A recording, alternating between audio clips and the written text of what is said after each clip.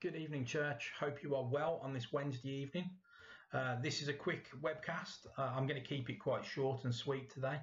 Uh, I've left it till tonight to really do this webcast because obviously yesterday we had some more restrictions that were announced by Boris uh, around only meeting with six people uh, indoors and outdoors.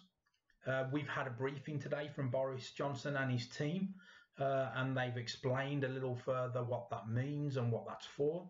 Uh, the good news for us is that church is still on. Uh, these restrictions do not uh, affect us putting on church and corporate worship and corporate prayer. So, guys, we are still in the building 10:30 on Sunday. If you want to be a part of that and you haven't already, then I would just really encourage you to book your tickets on Eventbrite. You can get to it through our Facebook page. You can message us on our email address at the church. You can leave a message on the voicemail at the church, or you can contact me on my mobile. You can contact us through Facebook Messenger. So, guys, if you've got any problems with booking tickets, please get in touch with us and we'll see what we can do to help you.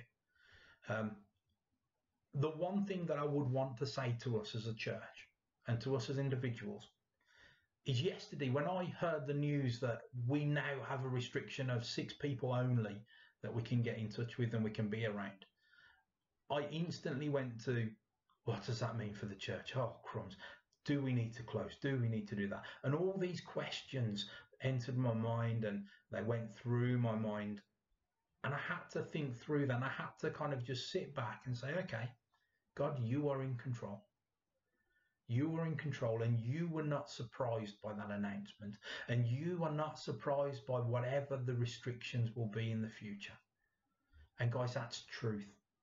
Our God is not surprised. And our God has not left his throne. He's still sat there. He's still in control. And the world is playing out to the tune of his plan. He absolutely knows the path that this world is going on and he knows the end from the beginning.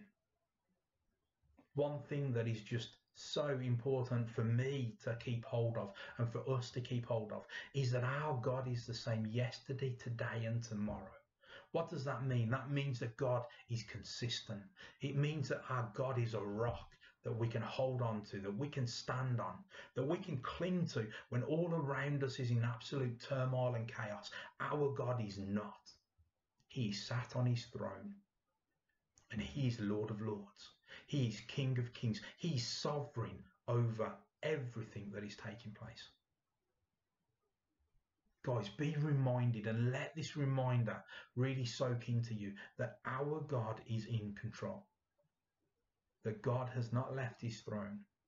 That the world is not spinning completely in chaos no, it spins because God tells it to spin. What is happening right now, God knew about. God is not surprised. And God has a plan, and it is a good plan.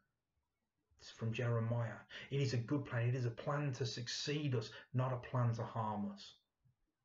That's what God promises to us, that He has a plan for us. God also promises and says that He works in every situation for the good of those that love Him. So, guys, God is working in this situation for your good because you love Him. God will be glorified as we come out of this, as we move closer and closer and closer to the end. God will be glorified. I want to just remind you of that, that God is in control that God is not surprised by what's going on. That God was not caught napping or caught unaware. God has a plan, and it is a good plan. It is a plan to prosper. It is a plan to succeed. It is not a plan to harm us. Hold on to God through these rough seas, guys, because He is a rock. And He loves you and loves us with a perfect love. The Bible's clear perfect love casts out all fear. We don't need to fear the chaos around us when we know the God who loves us would do anything for us, even die on a cross for us. God is in control. He is the same yesterday, today, and tomorrow. And He loves us, loves you with a perfect love.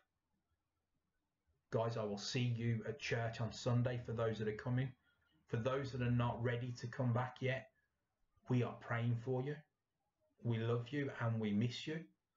Uh, and we will be keeping in contact with you through our emails, through our newsletters, through these webcasts, through the blogs.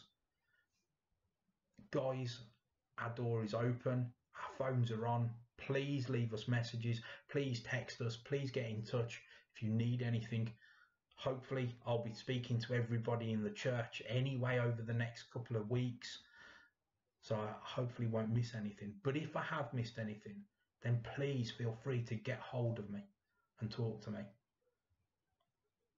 If you do want to get in touch with us and get in, get in contact with us through our Zoom life group, then again, please do.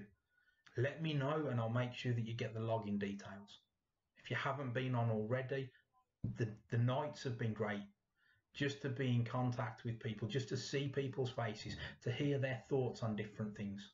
This week we were talking about what the word means to us, what our favourite passages are, how God has spoken to us through it. It was a great time of encouraging each other. And I just encourage you, if you can be there, get there, be there. It's a time and a place to be real with each other. It's a time to actually live life together through this storm. Guys, church is back on a Sunday. I said I'd keep it short and I'll keep it short. God bless and take care and have a great night.